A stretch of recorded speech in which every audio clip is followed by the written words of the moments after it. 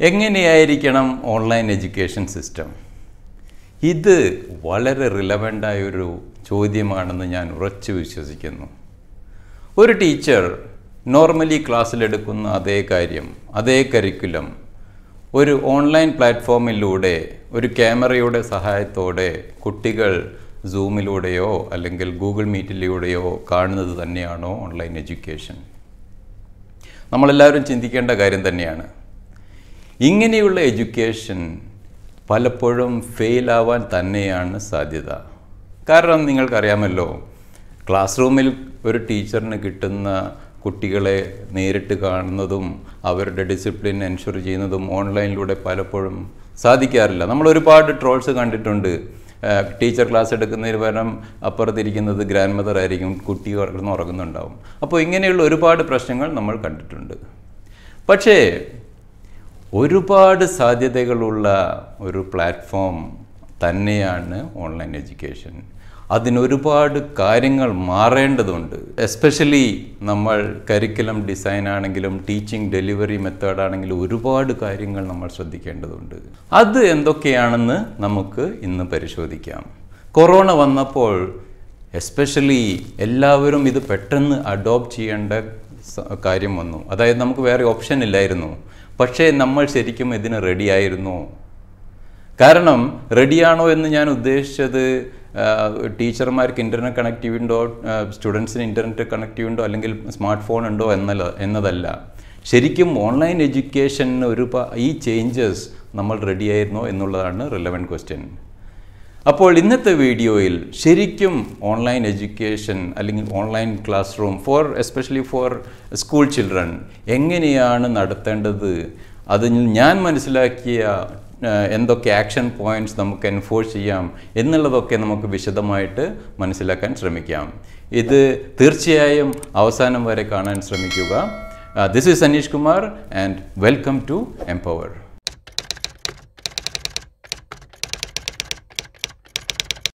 Technology and Education ഇത് എപ്പോഴും ഒരു റേസിനിൽ തന്നെയാണെന്ന് നമ്മൾ മനസ്സിലാക്കേണ്ടതുണ്ട്.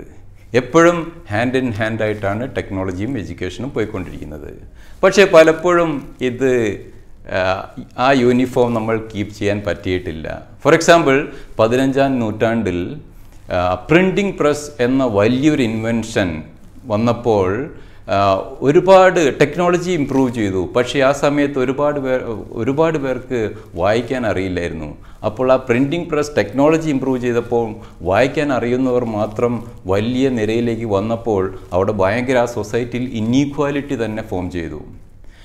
അപ്പോൾ ഇതേപോലെ ഒരു ഇൻസിഡന്റ് ഈ അടുത്ത് നടന്നു. അതായത് ടു തൗസൻഡ് നയന്റീനിൽ ഡിജിറ്റലൈസേഷൻ എന്ന ടെക്നോളജി വന്നപ്പോൾ എഡ്യൂക്കേഷൻ വളരെ ഫാർ ബിഹൈൻഡായി ഫോർ എക്സാമ്പിൾ ഇന്ന് നമ്മളെ പല കമ്പനികളും ഫങ്ഷൻ ചെയ്യുന്ന രീതി ആർട്ടിഫിഷ്യൽ ഇന്റലിജൻസ് അല്ലെങ്കിൽ machine learning big data analytics പോലെയുള്ള ടെക്നോളജികൾ കോൺകർ ചെയ്തപ്പോൾ അത് എങ്ങനെയാണ് ഫങ്ഷൻ ചെയ്യുന്നത് എന്ന് തന്നെ നമുക്കറിയാൻ പറ്റാ ഒരുപാട് പേർക്ക് അറിയാൻ പറ്റാത്ത സ്ഥിതി വന്നു. അവിടെ ടെക്നോളജി വളരെ മുന്നോട്ടിയപ്പോൾ എഡ്യൂക്കേഷൻ താഴോട്ട് പോയി എന്ന് വേണമെങ്കിൽ പറയാം. ഫോർ എക്സാമ്പിൾ നമ്മൾ കയറുന്ന കാർ ഇപ്പോൾ നമ്മുടെ നാട്ടിൽ ഒരു കാറിൽ ഊബർ ഊബർ എന്ന കാറിൽ കയറുമ്പോൾ അത് ഡിസൈഡ് ചെയ്യുന്നത് അമേരിക്കയിലെ ഒരു കമ്പനിയാണെന്ന് എത്ര പേർക്ക് അറിയാം? അതെങ്ങനെയാണ് ഫങ്ഷൻ ചെയ്യുന്നതെന്ന് എത്ര പേർക്ക് അറിയാം? അപ്പോൾ ഇങ്ങനെയുള്ള കാര്യങ്ങൾ ഇങ്ങനെയുള്ള ഇനീക്വാലിറ്റി വന്നപ്പോൾ നമ്മൾ എഡ്യൂക്കേഷൻ സിസ്റ്റത്തിലെ ഈ വലിയൊരു പുഷ് നമ്മൾ ചെയ്യേണ്ട വളരെ അത്യാവശ്യമാണ്. ഒരു പത്ത് വർഷം കഴിഞ്ഞാൽ എന്തൊക്കെ ജോബ്സ് അല്ലെങ്കിൽ കരിയർ ഓപ്ഷൻസ് ഉണ്ടാകുമെന്ന് ആർക്കും വലിയ പിടിയില്ല. അപ്പോൾ നമ്മളുടെ ഇപ്പോഴത്തെ കരിക്കുലം വെച്ചിട്ട് നമ്മളൊരു കുട്ടിയെ ഫ്യൂച്ചറിലേക്ക് വേണ്ടി നമ്മൾ എങ്ങനെ എക്യൂപ്പ് ചെയ്യുന്നു എന്നുള്ളത് നമ്മൾ വളരെ വളരെ ഇമ്പോർട്ടന്റ് ആയിട്ട് ആലോചിക്കേണ്ട കാര്യം തന്നെയാണ്. കരിക്കുലം കൊണ്ട് ഞാൻ ഉദ്ദേശിക്കുന്നത് സബ്ജക്ട്സ് ആൻഡ് ടോപ്പിക്സ് മാത്രമല്ല അത് ഇമ്പാർട്ട് ചെയ്യുന്ന ഡെലിവറി മെത്തേഡും കൂടെയാണെന്ന് നിങ്ങൾ മനസ്സിലാക്കണം. ഫോർ എക്സാമ്പിൾ ക്വാഡ്രേറ്റിക് ഇക്വേഷൻ പഠിച്ചത് കൊണ്ട് ഒരു കുട്ടിക്ക് എന്ത് ഗുണമുണ്ടാവും ഭാവിയിലെന്ന് അത് പഠിപ്പിക്കുന്ന ടീച്ചർക്ക് കൂടെ ഒരു വലിയ ഐഡിയ ഉണ്ടാകാൻ സാധ്യതയില്ല. അപ്പോൾ ഈ ഓൺലൈൻ എഡ്യൂക്കേഷൻ ടെക്നോളജീസ് ടെക്നോളജീസ് വളരെയധികം കാര്യങ്ങൾ നമുക്ക് ഇപ്പോൾ ചെയ്തു തന്നിട്ടുണ്ട്. ഒരുപാട് ടൂൾസ് ഇന്ന് അവൈലബിൾ ആണ്. അപ്പോൾ ഇത് നമ്മൾ എങ്ങനെ ഇഫക്റ്റീവായിട്ട് യൂസ് ചെയ്യാം?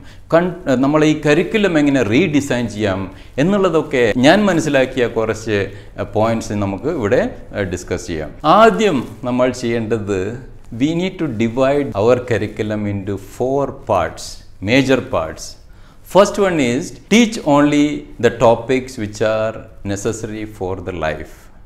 For example നമ്മളിപ്പോൾ സ്റ്റീം എഞ്ചിൻ പഠിച്ചതുകൊണ്ട് ഒരു കുട്ടിക്ക് ഒരു ഗുണവും ഉണ്ടാവില്ല. സ്റ്റീം എഞ്ചിൻ എന്ന സാധനം ഇപ്പോൾ ഇല്ല. അതുകൊണ്ട് എന്ത് ഗുണമാണ് അവർക്കുണ്ടാവുക? അപ്പോൾ ഒരുപാട് കാര്യങ്ങൾ. അതുപോലെ തന്നെ അശോക മഹാരാജാവ് ഏത് കൊല്ലത്തിലാണ് ഏത് യുദ്ധം ചെയ്തത് എന്നൊക്കെ ബൈഹാർട്ട് പഠിച്ചിട്ട് എന്ത് കാര്യമാണ് ഒരു കുട്ടിക്ക് ഉണ്ടാകുന്നത് അപ്പോൾ അവരുടെ ലൈഫിൽ സോൾവ് ചെയ്യാൻ പറ്റുന്ന അല്ലെങ്കിൽ അവരുടെ ലൈഫിലെ പ്രോബ്ലം സോൾവ് ചെയ്യുന്ന കാര്യങ്ങൾ ഫോക്കസ് ചെയ്യുന്ന ഒരു പാർട്ട് ഉണ്ടായിരിക്കണം എന്നുള്ളത് നിർബന്ധം തന്നെയാണ്. രണ്ടാമത്തെ part in the curriculum should be connect all the subjects what you learn in your journey for example നമ്മൾ ടെൻത്തിലെ ഒരു ഫിസിക്സിലെ ഒരു പ്രോബ്ലം സോൾവ് ചെയ്യാമെന്ന് വിചാരിക്കാം ഒരു ടീച്ചർ നല്ല ടീച്ചർ അത് പഠിപ്പിക്കുമ്പോൾ അവർ ഒരു കുട്ടിക്ക് അത് മനസ്സിലാവുന്നില്ല.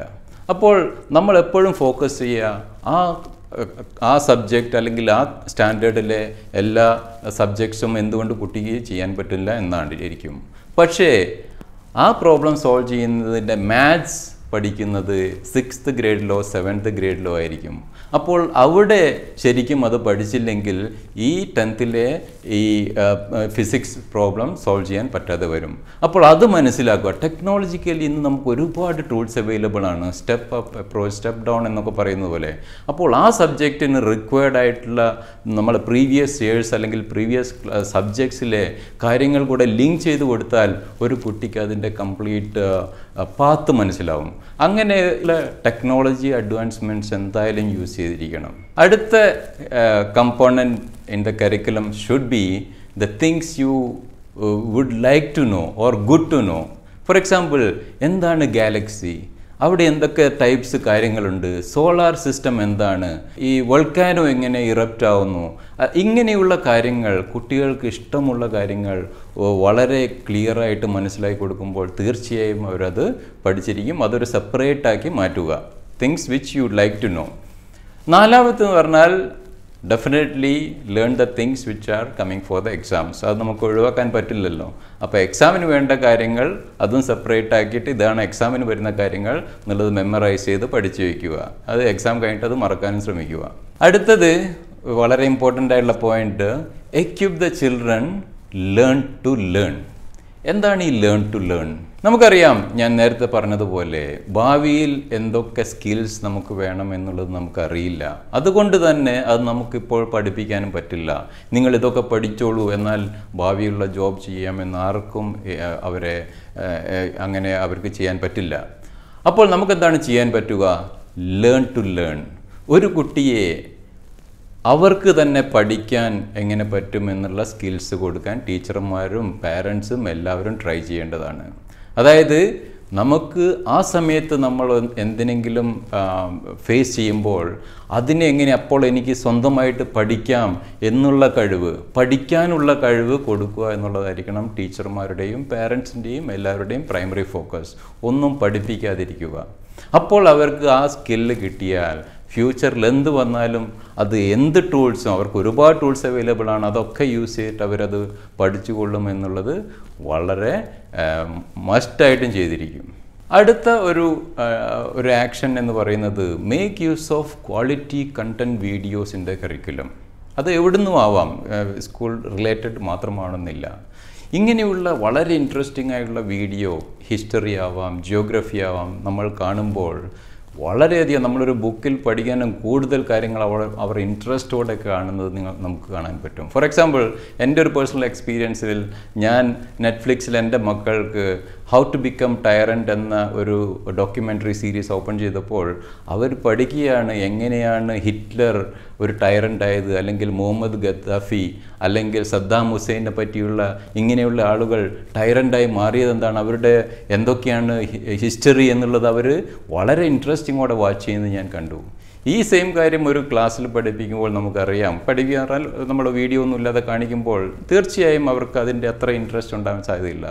ഇതൊരു വലിയ ബുക്ക് വായിച്ച ഒരു എക്സ്പീരിയൻസ് ആയിരിക്കും അവർക്ക് ഉണ്ടായിരിക്കും അത് വള അതവരെ വളരെ ഹെൽപ്പ് ചെയ്യും to understand how it was അപ്പോൾ ഇങ്ങനെയുള്ള ഒരുപാട് വീഡിയോസ് കണ്ടൻസ് വളരെ ക്വാളിറ്റി കണ്ടൻസ് യൂസ് ചെയ്ത് കുട്ടികൾക്ക് വളരെ ഈസി ആയിട്ട് പല കാര്യങ്ങളും പഠിക്കാൻ പറ്റുന്നതാണ്.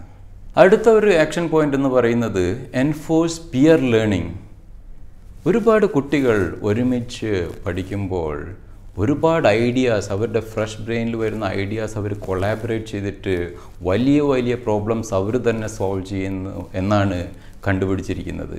അപ്പോൾ അവർക്കതിനുള്ള ഓപ്പർച്യൂണിറ്റി ചെയ്തു കൊടുക്കുക. ഓൺലൈനിലൂടെ അത് ചെയ്യുമ്പോൾ അവർക്ക് ജിയോഗ്രഫിക്കൽ ബൗണ്ടറീസ് ഇല്ലാതെ പലരുമായിട്ട് കണക്ട് ചെയ്തിട്ട് ഐഡിയ ഷെയർ ചെയ്യാനും മനസ്സിലാക്കാനും കഴിയുന്നതാണ്. അപ്പോൾ ഇങ്ങനെയുള്ള പിയർ ലേണിംഗ് എൻഫോഴ്സ് ചെയ്യുമ്പോൾ ശ്രദ്ധിക്കേണ്ട കാര്യം ഒരു സൂപ്പർവൈസറി മോണിറ്ററിംഗ് അവിടെ ആവശ്യമാണ്. To see that they are not off track of the subject they are suppose to do അപ്പോൾ അതങ്ങനത്തെ കാര്യങ്ങളും കൂടെ ഇതിന്റെ കൂടെ ചെയ്യേണ്ടതാണ്. അവസാനമായിട്ട് we should allow them to you make use of internet for learning അതായത് നമ്മൾ ഇപ്പോൾ എന്ത് പ്രോബ്ലം വന്നാലും നമ്മളുടെ പ്രായത്തിലുള്ളവരും എല്ലാവരും യൂസ് ചെയ്യുന്ന എനി പ്രോബ്ലം ടു സോൾവ് നമ്മൾ നേരെ ഇന്റർനെറ്റിൽ പോയിട്ടാണ് ചെക്ക് ചെയ്യുക അല്ലെങ്കിൽ കണ്ടുപിടിക്കാറ്. അപ്പോൾ എന്തുകൊണ്ട് കുട്ടികൾക്ക് ഇത് പാടില്ല എന്നുള്ളത് നമ്മൾ ചിന്തിക്കേണ്ടതാണ്. റൈറ്റ് വേ അത് വളരെ ഇമ്പോർട്ടന്റ് ആണ്. അപ്പോൾ ഇന്റർനെറ്റിൽ നമുക്ക് സോൾവ് ചെയ്യുന്നതെല്ലാം നമ്മൾ അത് തലയിൽ വെച്ച് മെമ്മറിയിൽ വെക്കേണ്ട കാര്യമില്ല. അതായത് വാച്ച് നോക്കാതെ സമയം പറയുന്ന ഒരാളെ നമുക്കിപ്പോൾ ആവശ്യമില്ല. നിങ്ങൾക്ക് മനസ്സിലായല്ലോ എന്താണ് ഉദ്ദേശിച്ചതെന്ന് ഇതൊക്കെയാണ് ഞാൻ മനസ്സിലാക്കിയ കുറച്ച് കാര്യങ്ങൾ നിങ്ങൾ ഷെയർ ചെയ്യാമെന്ന് വെച്ചു. Because our children to come to the level of technology നമുക്ക് പലതും റീഡിസൈൻ ചെയ്യേണ്ടത് വളരെ അത്യാവശ്യമാണ്. ഇങ്ങനെയുള്ളൊരു പഠന രീതി റിഫൈൻഡ് ഞാൻ പറയുന്നത് മാത്രമല്ല റിഫൈൻഡായിട്ട് ആലോചിച്ചുകൊണ്ടൊരു ഒരു collective curriculum design and you know tech education system അടുത്ത് തന്നെ വരുമെന്ന് നമുക്കെല്ലാം ആശ്വസിക്കാം. നിങ്ങൾക്ക് ഈ ഇതിൽ എന്തെങ്കിലും അഭിപ്രായം ഉണ്ടെങ്കിൽ കമന്റ് ചെയ്യുക. നല്ല നല്ല സജഷൻസ് ഉണ്ടെങ്കിൽ പറയുക. നമുക്കതും കൂടി വെച്ചൊരു ഒരു വലിയ ഡോക്യുമെന്റ് തന്നെ പ്രിപ്പയർ ചെയ്യാവുന്നതാണ്. Share with your friends and see that what they think about these points and let me know their feedback അപ്പോൾ ഈ അടുത്ത ആഴ്ച നമുക്ക് വേറെ ഒരു ഫ്രഷ് സബ്ജക്റ്റുമായിട്ട് കാണാം. Thank you for watching this video and stay safe